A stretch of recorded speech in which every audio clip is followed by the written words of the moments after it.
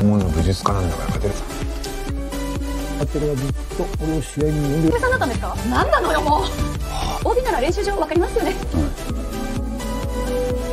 あの桜君さ内側けシャドーボクシング。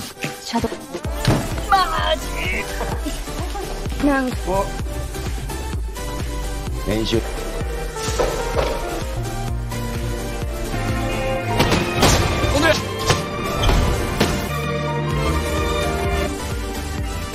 あは構えた前の方の手でボクシング3分じゃないの？アマチュアの高校生はいる。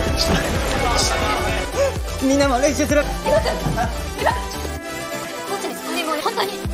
勝手なことして私。僕の恨みお願いします。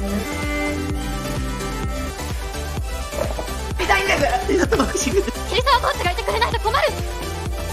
ボクシング。それだけです。コーチにかっこよかったです。かっこよかったです